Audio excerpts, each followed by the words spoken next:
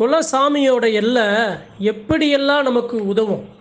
நம்ம குலசாமி வீற்றிருக்கும் அந்த எல்லையில் தெய்வங்கள் மட்டும்தான் இருக்கும். ஆனால் நம்ம அந்த குலதெய்வ எல்லையில் மிதித்து நம்மளுடைய பங்கு அந்த குலதெய்வங்களுக்கும் அந்த எல்லைக்கும் கிடைச்சா என்னென்ன நமக்கு நடக்கும் அப்படிங்கிற ஒரு உண்மை சம்பவத்தை உங்கள்கிட்ட சொல்ல ஆசைப்பட்றேன்.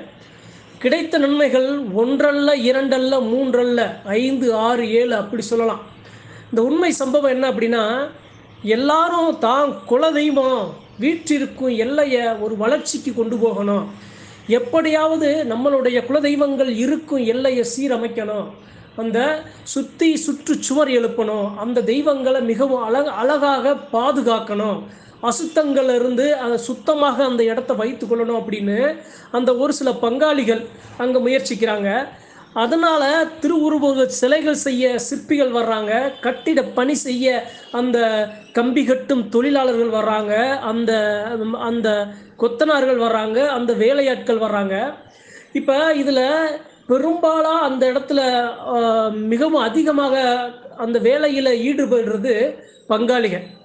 அப்போ அங்கே நடந்த நன்மைகள் என்ன தெரியுமா? குல தெய்வத்துக்காக செய்ய போன அவங்க அவங்களுக்கு கிடைச்ச நன்மை என்ன தெரியுமா? அந்த குலதெய்வ சுற்று சுவர் கட்டியாச்சு திருவுருவ சிலைகள் அமைச்சாச்சு மகா மண்டபம் கட்டியாச்சு. அதில் முதலாக முதன் முதலாக கிடைத்த நன்மை அந்த குலதெய்வங்களை அந்த குலதெய்வங்களின் உருவங்களை உருவங்களை அந்த திரு உருவங்களை அந்த குல மக்களுக்கு காட்டினார்ல அந்த சிற்பி. அந்த சிற்பி அந்த கோவில் திருவுருவ சிலை அந்த பணி முடிந்த உடனே அதை விட மூன்று மடங்கு பெரிதான ஒரு சிற்ப வேலை அவருக்கு கிடைக்குது. முதல் உதவி யாருக்கு? அந்த குலதெய்வம் அவருக்கு கொடுத்த பரிசு. அதாவது நம்ம இருக்கோம் நமக்காக யாராவது ஒருத்தவங்க வந்து நம்மளுக்கு செஞ்சுட்டாங்க அப்படின்னா நம்ம மனம் மகிழ்ந்து நமக்கு ஏதாவது அவங்களுக்கு செய்யணும்னு தோணும்ல. அதே மாதிரியான அந்த குலதெய்வங்கள் செய்த அந்த உதவி அந்த சிற்பிக்கு அதை விட அவர் செய்த அந்த எல்லையில் செய்த அந்த சிற்ப கலைக்கு மூன்று மடங்கு பெரிதாக ஒரு ஒரு ஒரு நல்ல ஒரு இன்னும் ஒரு மற்றும் ஒரு வேலை கிடைச்சிருக்கு. அப்போ இது முதல் விஷயம். இரண்டாவது விஷயம் அந்த ஸ்- அந்த திருக்கோவில் எல்லையில் அந்த சுற்றுச்சுவரை கட்ட முயன்ற அந்த வேலையாட்கள் இருப்பாங்கல்ல அந்த வேலையாட்களில் ஒருவருக்கு தொழிலே இல்லை.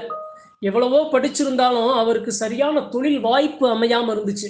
ஆனால் அந்த எல்லையில் வந்து அவர் வேலை பார்த்த உடனே அவருக்கு மற்றும் ஒரு ஒரு அழகான ஒரு பணி என்ன அப்படின்னா அந்த திருவுருவ சிலை செய்த அந்த சிற்பி இருக்கார்ல அந்த சிற்பியோட அந்த பணியிலேயே அந்த தொழில் இல்லாத அந்த ஒரு நபரும் அந்த ஒரு அந்த வேலையாள் அந்த அவருக்குமே அங்கே தொழில் கிடைக்குது. அப்போ வேலையே இல்லாமல் இருந்த ஒருத்தருக்கு சிற்ப கலையில் அதாவது சிற்ப கலைங்கிறது தெய்வத்தை வடிவமைக்கும் ஒரு தெய்வம் சார்ந்த ஒரு மிகச்சிறந்த ஆகச்சிறந்த பணி. அந்த பணியில அந்த வேலையாள் வேலை வேலை பார்த்தார்ல அவருக்கு அங்க பணி கிடைக்குது. இது ரெண்டு. முதல்ல அந்த சிற்பிக்கு அதை விட மூன்று மடங்கு பெரிய வேலை கிடைக்குது மற்றும் ஒரு வேலை. இன்னொன்று அங்கே வேலை பார்த்த அந்த வேலையாட்களுக்கு அதே சிற்ப பணியில் அவர் வேலை புரிஞ்சு அவருக்கு நல்ல ஒரு வருமானத்தை ஒரு தொழிலை அவர் மேற்கொள்கிறாரு ரெண்டு.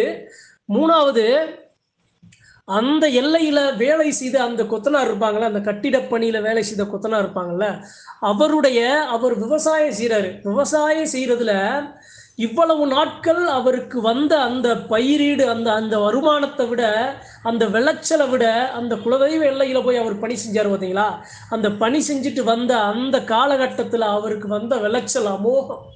பூரிச்சு போயிட்டாரு. எப்பயுமே இல்லை இந்த கடந்த ஒரு பத்து வருஷமா இல்லாத விளைச்சல் இந்த வருஷம் எனக்கு கிடைச்சிருக்கு. உங்களுடைய குலதெய்வ எல்லையோட சக்தியா என்னன்னு தெரியல. உங்க குலதெய்வ எல்லையில நான் வந்து வேலை பார்த்தேன். என்னுடைய என்னுடைய தோட்டத்துல அந்த விளைச்சல் பூத்து குலுங்குது அப்படின்னு அவர் சந்தோஷப்படுறாரு. இது மூணு. நாலாவது அதே குலதெய்வ எல்லையில வேலையாளா பணி செஞ்ச ஒருவர் உடல் நலம் சரியில்லாம இருந்தார். அவரு தன் தன்னுடைய அந்த ஒரு நுரையீரல் தொற்று காரணமாக உடல் நலம் சரியில்லாம இருந்தவர் அந்த வேலை முடிகிற கணத்துல அவரவே அந்த மருத்துவமனையில அவர் மூலியமாகவே அந்த மருத்துவமனையில் அனுமதிச்சு அவருக்கு சகல வசதிகளை மருத்துவ வசதிகள் செய்து பரிசோதனை செய்து அவர் மறுபடியும் முன்னாடி இருந்த ஒரு பழைய நிலைமைக்கு ஒரு அஞ்சு வருஷத்துக்கு முன்னாடி இருந்த பழைய நிலைமைக்கு அவர் ஆரோக்கியமான ஒரு வாழ்க்கைய பெறார். இது நாலு. அஞ்சாவது என்ன நடக்குது அப்படின்னா அந்த குலதெய்வ எல்லையில அங்கனங்கன அந்த அந்த அந்த ஊர் மக்கள் வந்து இந்த கோவில் இப்படியெல்லாம் ரொம்ப இருந்த கோவில் இப்போ இப்படி இருக்கு அப்படின்னு ஒரு வளர்ச்சி இல்லாமல் இருக்குன்னு சொல்லுவாங்க பார்த்தீங்களா அவங்க எல்லாருமே அந்த கோவிலுக்கு வந்து கைதட்டி அதாவது கைகட்டி வாய் மேல வச்சு இவ்வளவு பெரிய தெய்வத்துக்கு ஒரு நல்ல காலம் பிறந்துருச்சு. இனிமேல் இந்த தெய்வத்துக்கு நம்ம வார வாரம் நம்மளால முடிஞ்ச ஒரு சூடம்பத்தியை பொறுத்து இந்த தெய்வத்தை நம்ம வணங்குவோம். இந்த தெய்வம் அப்ப இருந்து இப்ப வரைக்கும் இந்த எல்லையில நம்மளை காத்து கொடுத்த தெய்வம். அந்த தெய்வத்துக்கு நம்ம வாரம் ஒரு முறையாவது இருமுறையாவது நம்ம ஏதாவது நம்ம செய்யணும். அப்பத்தான் நம்ம குழந்தை குட்டியோட நம்ம நல்லா நல்லா எப்பையும் போல் அந்த தெய்வம் நம்மளை காத்து கொடுக்கும்னு அந்த ஊர் மக்கள் எல்லாருக்கும் அந்த எல்லையில் மறுபடியும் ஒன்று சேர்றாங்க. இது இது இது இது நான் சொன்னது ஒரு சில விஷயங்கள் தான். அஞ்சாவது இன்னும் ஒரு சில விஷயம் என்ன இருக்குன்னா அந்த குலதெய்வ பங்காளிகள் இருப்பாங்கல்ல. அதாவது நம்ம ஒரு வீடு கட்டுறோம் அப்படின்னா வீடு கட்டுறதுக்கு வீடு கட்டப்பாரு வீட்டை கட்டிப்பாரு கல்யாணம் பண்ணிப்பாருன்னு சொல்லுவாங்க. அவ்வளவு ஒரு மிகவும் ஒரு கடினமான ஒரு வேலை. அப்படி அப்படி இருக்கும் நிலையில கோவிலை கட்ட தான் வைத்திருந்த அதாவது தன்னுடைய நகைகளை அடுக வைத்து கடன் வாங்கி வட்டிக்கு வாங்கி அந்த ப அந்த பணம் போட்டு ப அந்த பணி புரியுறாங்க பார்த்தீங்களா அந்த குலதெய்வம் சார்ந்த பங்காளிகள்.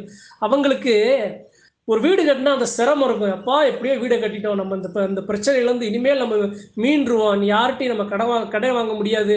அப்படின்றது நமக்கு ஒரு ஒரு பெரிய மன வலி வேதனை இருக்கும். அவங்க அந்த கோவிலில் எவ்வளவு கடன் வாங்கி போட்டாலும் நகைகளை அடகு வச்சு போட்டாலும் அந்த மன திருப்தி இருக்குல்ல. நம்ம கோவிலுக்கு போட்டோம் ஆனால் நமக்கு மனம் நல்லா தான் இருக்கும் சந்தோஷமாக தான் இருக்கும். வீடை கட்டி கஷ்டப்பட்டோம் கல்யாணம் பண்ணி கஷ்டப்பட்டோம் ஆனால் அந்த கஷ்டம் அந்த மன வலி நம்ம கோவிலுக்கு போட்டதில் தெரியலை. நம்ம தெய்வம் நம்மளை சுகமாக அந்த மன வலி தெரியாமல் நம்மளை வச்சுக்குது அப்படின்னு அந்த குலதெய்வ பங்காளிக்கு அங்கே ஒரு அந்த ஒரு அந்த ஒரு மனநிலை. இது மாதிரி எண்ணற்ற விஷயங்கள். இது மாதிரி ஒரு சில பேர்லாம் என்ன பண்ணுறாங்கன்னா இந்த கோவில் வேலைக்கு சரியாமல் போகாமல் இருந்தவங்கெல்லாம் இந்த குலதெய்வ எல்லையில் வந்து வேலை பணி புரிஞ்சினையுமே அந்த வேலை மேலே ஆர்வம். இது மாதிரி எண்ணற்ற விஷயங்கள் நடந்திருக்குங்க. இது ஒரு அதிசயம். இது இந்த ஒரு குறிப்பிட்ட குலதெய்வ எல்லையில் இல்லை. எந்த ஒரு குலதெய்வ எல்லையிலையும் அன்பால எல்லாரும் ஒன்றா சேர்ந்து அந்த ஆலயத்தை எழுப்பணும்னா நான் சொன்ன இந்த இந்த இந்த உதவிகள் இந்த குலதெய்வ எல்லை எப்படி உதவும் சொல்றேன்ல? இந்த உதவிகள்ங்கிறது ரொம்ப கம்மி. யாரெல்லாம் அவங்களுடைய பங்கு அந்த கோவில்ல அந்த எல்லையில விழுகுதோ அவங்க எல்லாம் நல்லா இருப்பாங்க. கொடிகட்டி பறப்பாங்க. கஷ்டப்பட்டு கரணம் பாஞ்சு அந்த கோவிலுக்கு ஏதாவது செஞ்சாங்க அப்படின்னா அவங்க கஷ்டம் இல்லாம அவங்களுடைய வாழ்க்கை சிறக்க அவங்களுடைய குலதெய்வங்கள் உதவும். இந்த பதிவின் மூலயமா என்ன சொல்ல வரேன் அப்படின்னா குலசாமியை குலசாமி எல்லையில ஏதாவது ஒரு பணியா ஒரு திருப்பணியா இருக்கிற எல்லா வேலையும் விட்டுட்டு தாராளமாக போய் நம்ம பணி செய்யலாம்.